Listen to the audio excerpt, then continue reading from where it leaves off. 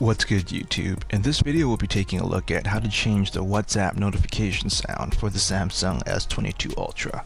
This will work for the S22 Ultra and most versions of the S22 as well. If you like this kind of content, leave a message down below. Don't forget to subscribe and thanks for watching. So it's actually pretty easy to change the default WhatsApp notification sound on the S22 Ultra. What you want to do is swipe down from the top right of the screen to go into your settings and then from there you want to go into apps. This is right below battery and device care and above general management. From apps you'll see a list of all the apps installed on your phone. You want to scroll usually all the way down to the bottom until you get to WhatsApp. You want to hit WhatsApp and then from there you get a list of settings for WhatsApp for the S22 Ultra.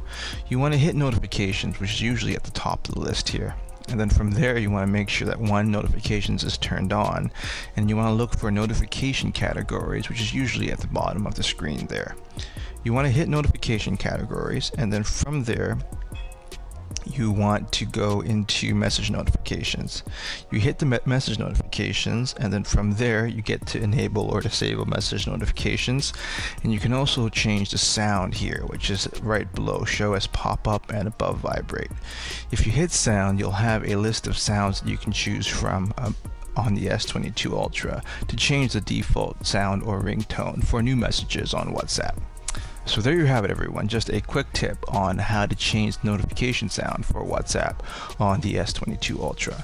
If you like this kind of content, leave a message down below. Don't forget to subscribe, and thanks for watching.